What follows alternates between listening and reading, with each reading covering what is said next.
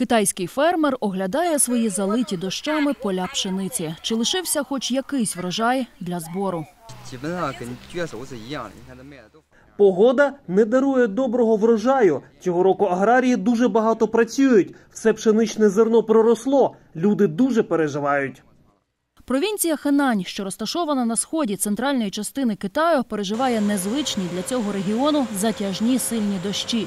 Тут виробляють близько третини всієї пшениці, яку споживає Китай. Утім, висока вологість спричинила раннє проростання зерна, з якого можна виробити лише низькоякісне, непридатне для людей борошно.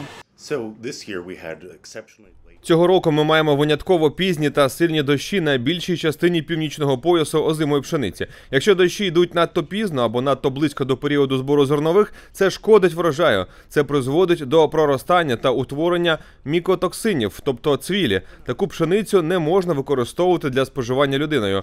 Хенань найбільша провінція, що виробляє зерно. Цей регіон страждає найбільше, але інші провінції також мають проблеми.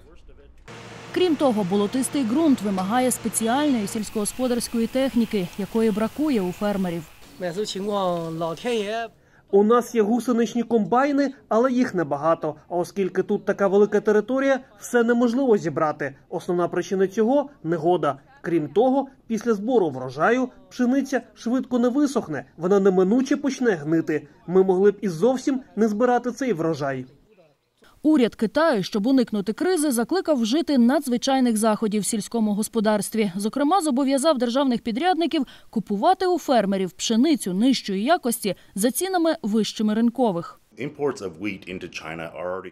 Імпорт пшениці в Китай вже зростає. Минулого року він був одним із найбільших у світі, і обсяги імпорту зростають. Якщо є поганий врожай, а ми ще з'ясовуємо збитки, то ймовірно, що Китаю доведеться збільшити свій імпорт наступного року. Це очевидно матиме вплив на світові ціни та на світові ринки. Китай щороку імпортує близько 20 мільйонів тонн кукурудзи, біля 10 мільйонів тонн ячменю та до 12 мільйонів тонн пшениці. Для аграрних країн це дуже привабливий ринок, розповідає в інтерв'ю Голосу Америки президент Української зернової асоціації Микола Горбачов. Китай серед країн, які найбільше імпортують зерна з України.